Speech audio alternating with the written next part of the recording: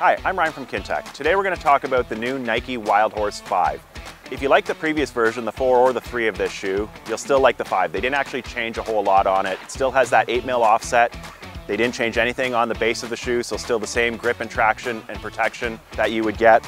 The one noticeable thing that they did on this shoe was they took some of the weight off the upper and they made it a little bit more breathable as well. So that's a benefit that you'll probably notice if you've worn this shoe in the past. And also compared to some of the past versions as well, the color scheme on this are very springy and very fun as well. Drop by Kintec to test drive a pair of the Nike Wildhorse 5.